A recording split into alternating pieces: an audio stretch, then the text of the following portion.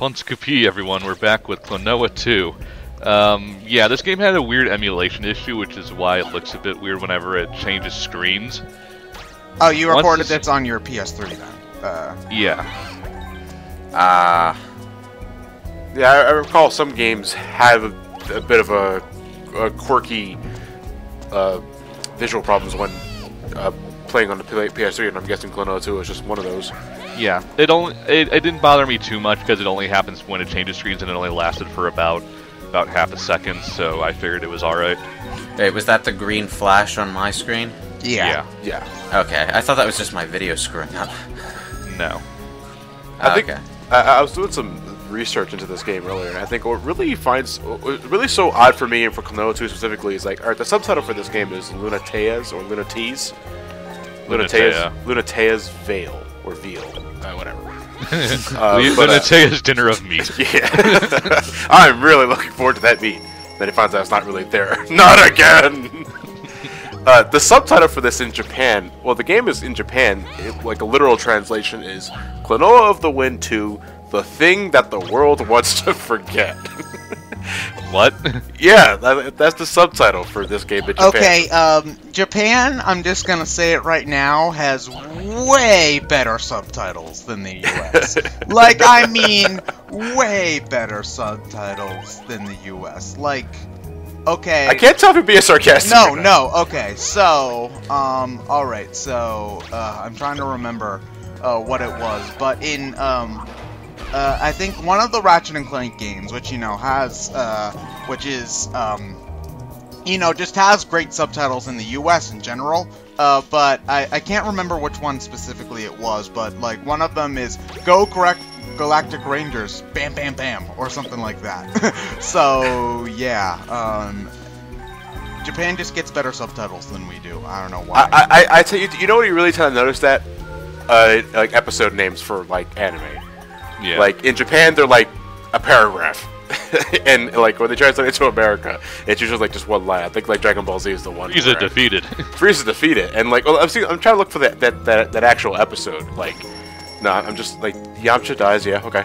Um, what else is new? Wait, there's an Yeah. episode called Yam- Yamcha but it's like Yamcha's sacrifice or something like that. Uh, well, it's not so much like a sacrifice, more like a He screwed- yeah, he screwed up. No, I can't really see it, but uh, the, yeah. But the, the point is, oh wait, here it is. Wait, here it is. Here it is. Where is it? Where is it? The structure plan now. Good lord, Dynamic Saga is so fucking long. it's still shorter than Boo. Yeah, true, true. The um, the thing with uh, titles and subtitles in Japan is when they aren't being, you know, like really super actiony sounding by trying to be a by trying to be an advertisement rather than a title. Um, a lot of them will sound better in Japanese than they do in English, unless of course they're English titles, in which case there's no excuse. Yeah, like I'm pretty sure, like it, like in, in the Japanese dialect, then it sounds absolutely fine. It's like when you literally translate them to English, it sounds very elaborate and long. Like here we go: Frieza defeated, a single blast packed with the totality of rage, otherwise known as Mighty Blast of Rage in America.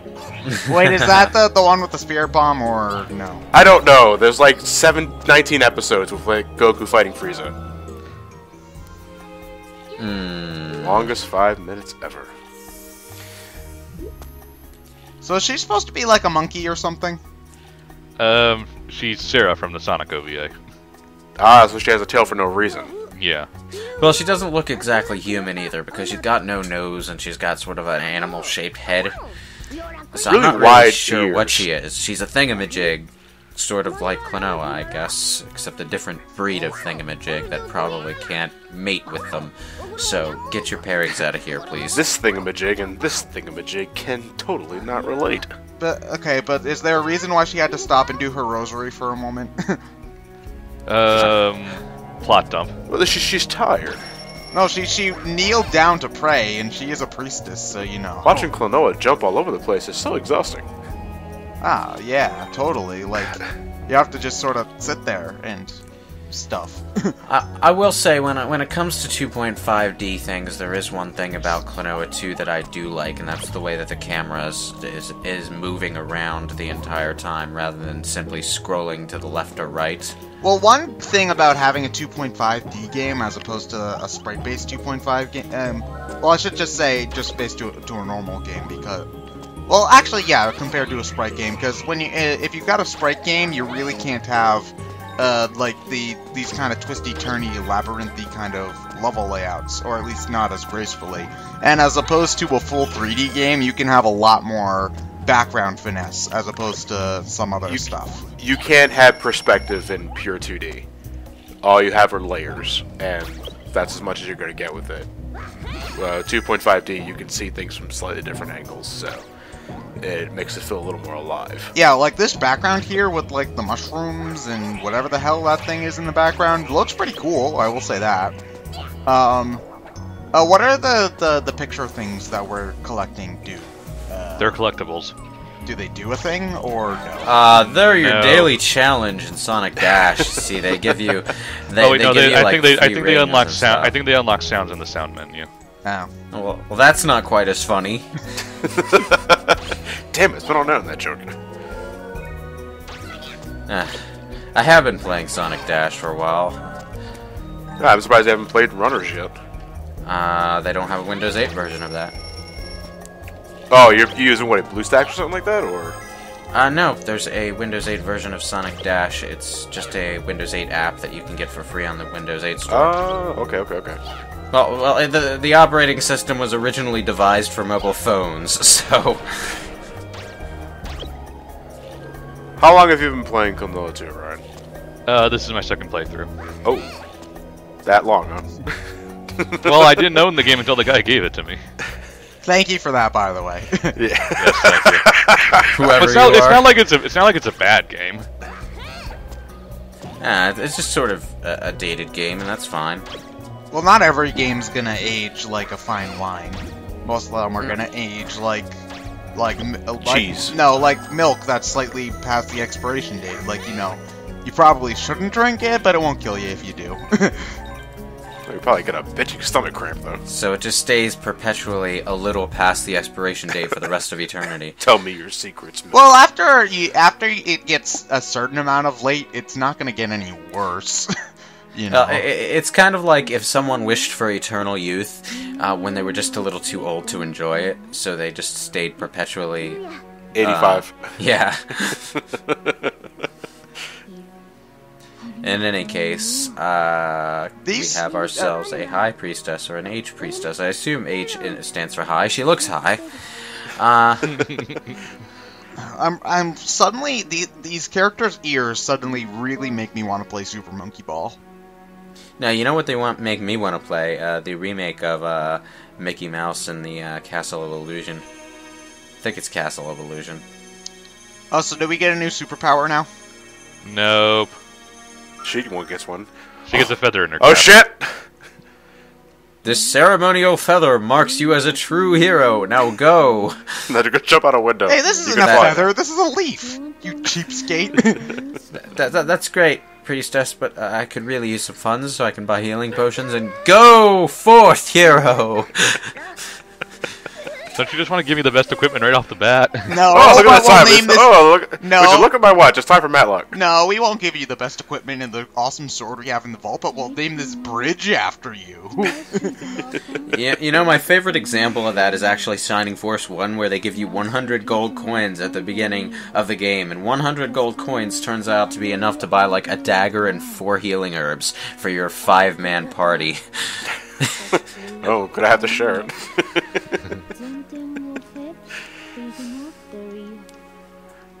so this character here is just pretty much giving us our mission objective.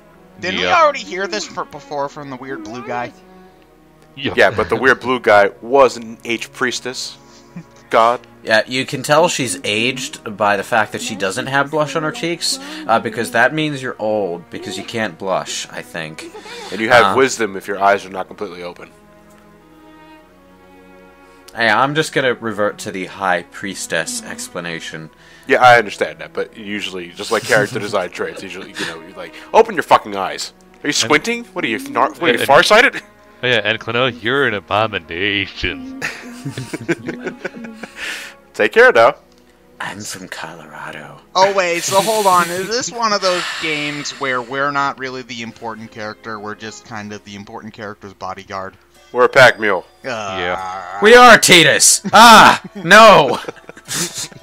Wait, you're I thought I overwriting would your old save that. data. No, Ryan, don't do it. No. What if It- it- something it's a goes short- wrong? It's a short platform. I can always just re-record it. Is this one of those games where you only have three save files? Yep. God damn it! I hate when Well, games no, do that. well, no, no. You have three. You have three folders, but then you have three files within the folder. Oh, um, That's so so nine. So, you nine know, it it, it, it, it, it, it still stands. I hate when games limit the number of saves you're allowed to have, and it doesn't have the excuse of being like on a cartridge in in a in a in a, in a Game Boy or something. Well, no, It's the- like- it's it's worse when there's only one save file. Pokemon. Uh, like I can understand for like a platformer only having three save files because these are the kind of games where you know like with two people in the same house might be playing it at the same time or something like that. Like now that I do like uh, video game like uh, I don't know if we technically count these as LPs, but whatever. But the most convenient types of games to do are the ones that have like 99 save files, so you can just make each new recording session a save file, and if anything ever goes back, you can just go back to the last time you, uh, to the point where you saved it, and you don't have to like replay the whole game, and that's that's well, awesome. well, Yeah, well, this is my point. We're, we're, we're, we're, we're saving games to these huge ass internal hard drives now. We don't need to limit the number of save files there are in the game anymore. It's like even even on the 3DS, there's no excuse. You know what pu- what Persona Q does? You have three save files on the cart, and then you can save as many times as you fucking want to your SD card.